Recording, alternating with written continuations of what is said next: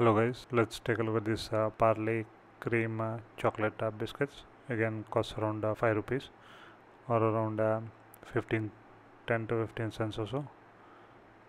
Again um, many companies are uh, doing this uh, now.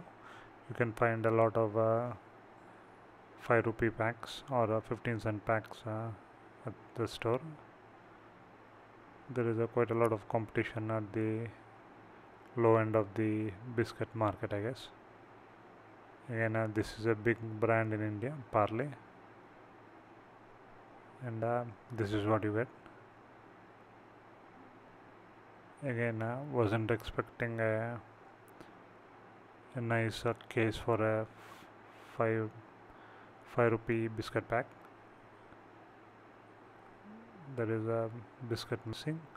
Again uh, this is how it looks inside uh, you get a chocolate uh, cream quite a thin biscuit